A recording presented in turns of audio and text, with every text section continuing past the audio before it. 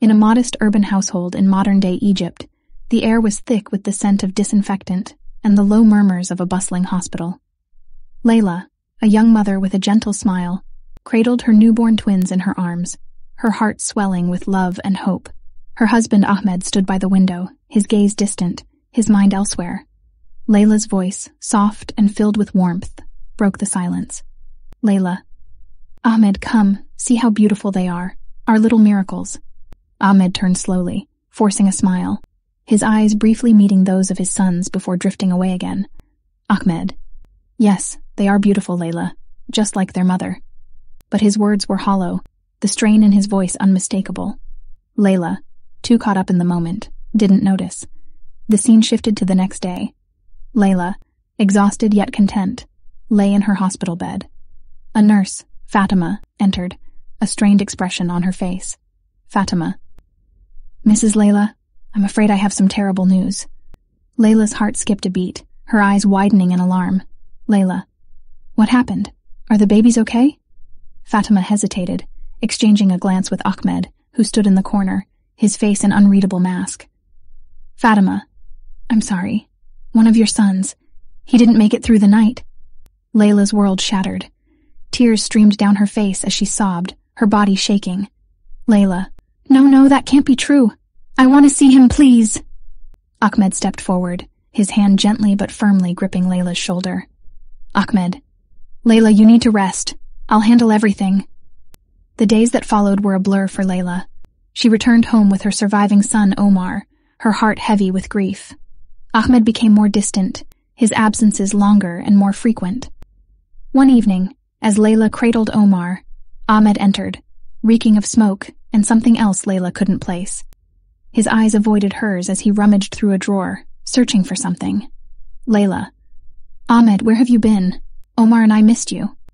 Ahmed. Just out, dealing with... stuff. Don't wait up for me. His tone was dismissive, his movements hurried. Four years had passed since the tragic day Layla lost one of her twins.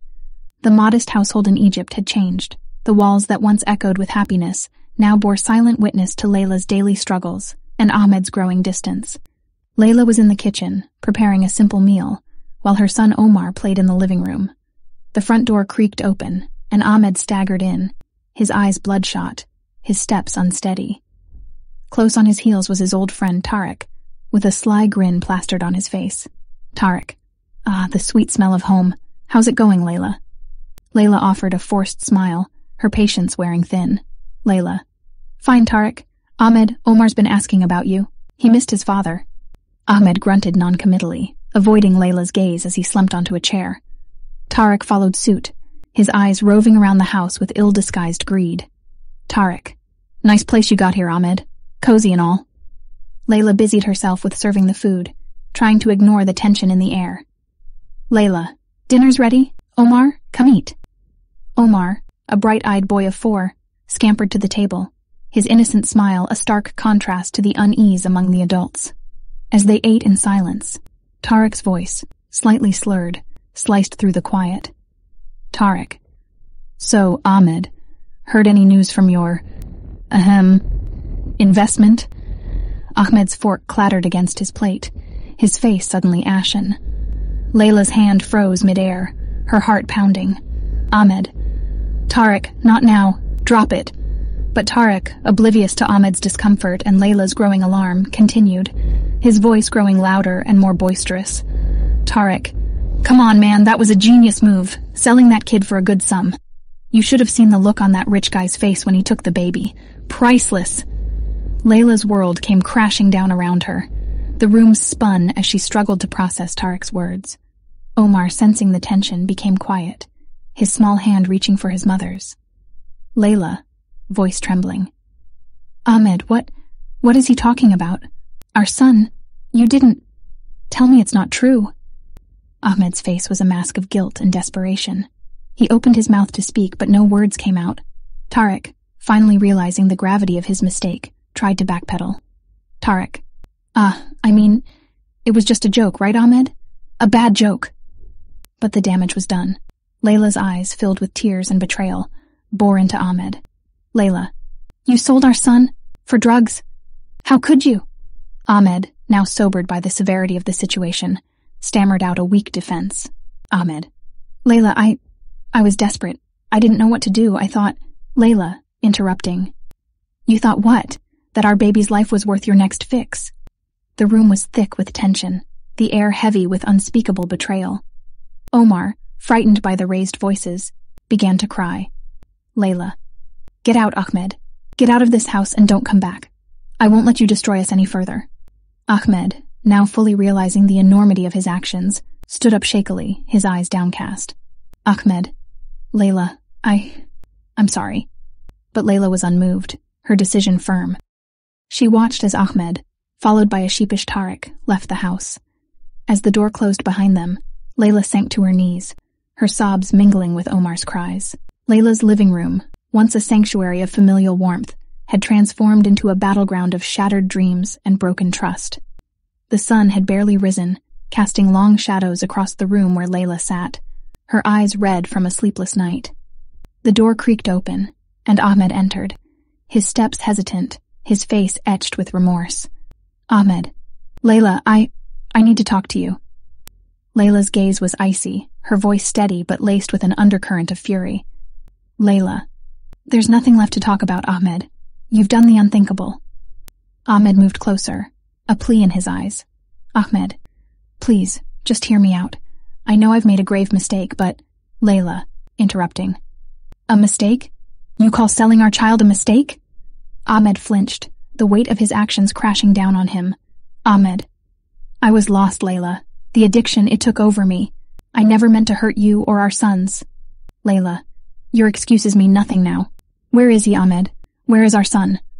Ahmed's eyes lowered, unable to meet her gaze. Ahmed. I don't know. I sold him to a man, a wealthy one. That's all I know. Layla's heart pounded, her resolve hardening. Layla. I'm going to the police, Ahmed. You can't hide from this. Ahmed reached out, desperation in his touch. Ahmed. Layla, please. Think about Omar, our family. Layla brushed his hand away, her voice resolute. Layla. You should have thought about our family before you destroyed it. At the police station, Layla recounted her story to Officer Haney, a man with a stern face but kind eyes. He listened intently, his expression growing graver with each word. Officer Haney. Mrs. Layla, this is a serious allegation. Are you certain about what you heard? Layla. Yes, officer. I heard Ahmed's friend mentioning the sale. My son has been living a lie. Officer Haney nodded, his voice reassuring yet firm. Officer Haney. We will do everything we can to find your son. I assure you justice will be served. Layla nodded, a mix of hope and dread filling her heart. Days passed, turning into weeks, with the police investigation in full swing. Layla spent her days in a haze, caring for Omar while clinging to the hope of finding her other son. Then, one fateful morning, Officer Haney called.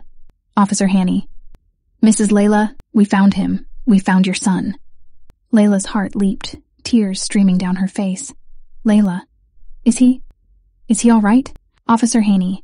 He's healthy and has been living with a wealthy couple who were unaware of the truth. We need you to come to the station. Layla rushed to the police station, her emotions a whirlwind of fear, joy, and anxiety. At the station, Layla was introduced to Kareem and Salma, the couple who had been raising her son, now named Adam. They were well dressed and looked genuinely distressed by the revelation. Kareem. Mrs. Layla, we had no idea. We were told Adam was an orphan. Salma. We've loved him as our own. Please believe us. We never intended any harm.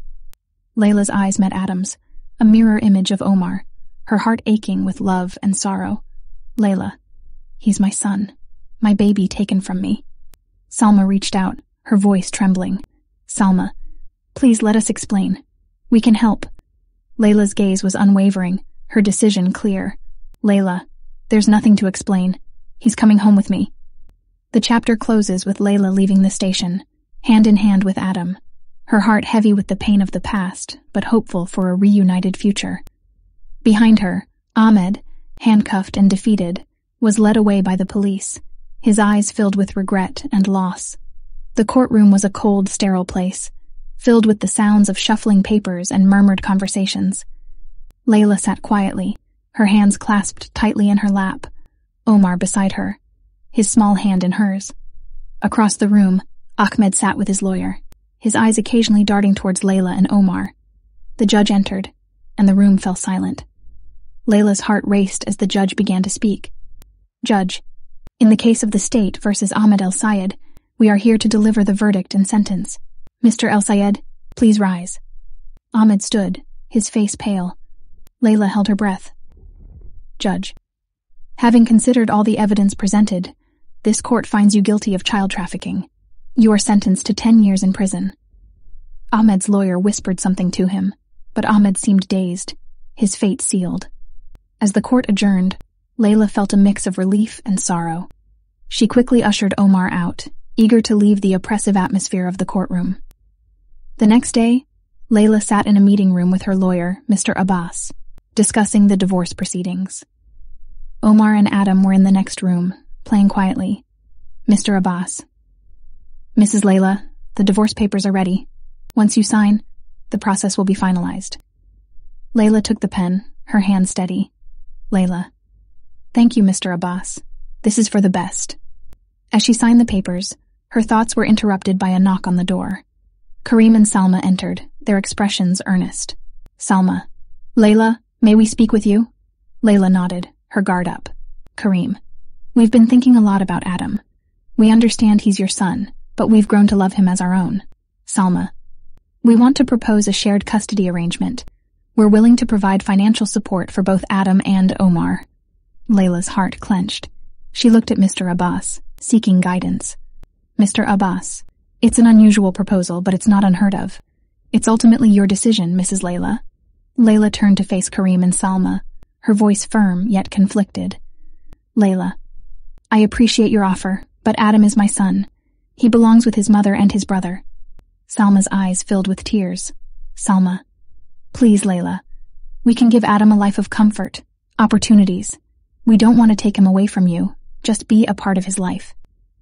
Layla struggled torn between her maternal instincts and the life Adam had known. Layla, I need to think about this. It's not just about comfort or opportunities. It's about what's best for Adam. Kareem placed a gentle hand on Salma's shoulder. Kareem, take all the time you need. We only want what's best for Adam.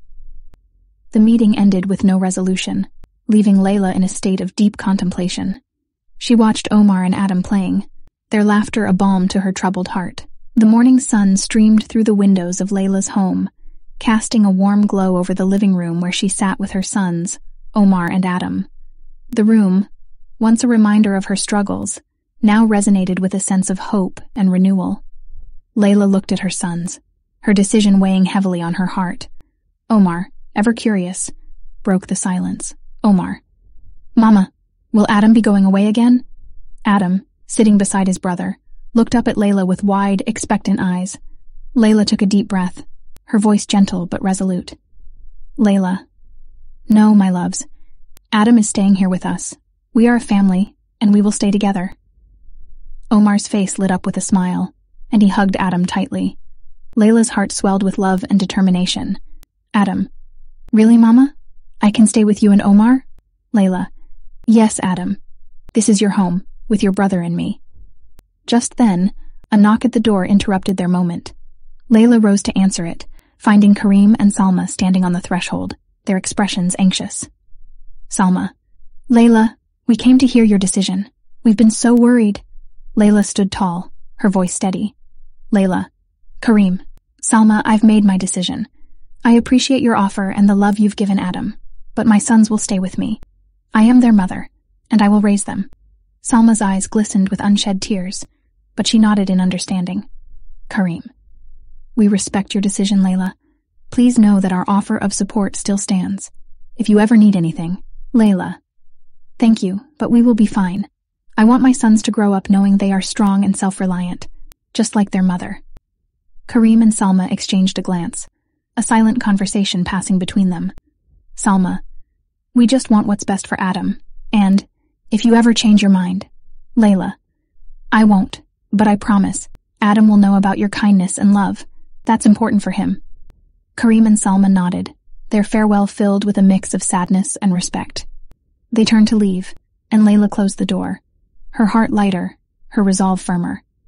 Layla returned to her sons, kneeling beside them, her arms enveloping them in a warm embrace. Layla. My brave boys, life will have its challenges, but we will face them together, with love and strength.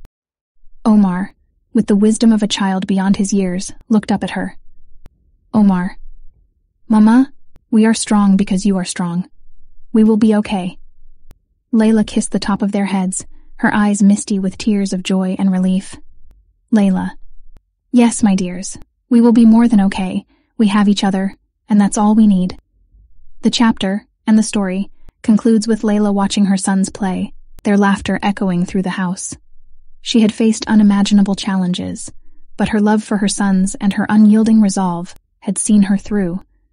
There was no looking back, only forward to a future filled with hope, love, and the unbreakable bond of family. The story of Layla and her unyielding journey has come to its empowering conclusion. Reflecting on her decision to raise both her sons herself, rejecting the shared custody offer despite the promised financial support, what would you have done in her place? Do you agree with her choice? Or would you have considered the wealthy couple's offer for the sake of the children's future opportunities? Your thoughts and perspectives are valuable to us, so please share them in the comments below. And if you enjoyed this story and the journey we've shared, don't forget to like this video and subscribe to our MES Middle Eastern Stories channel for more captivating and thought-provoking content. Your support means a lot to us and helps bring more such stories to life.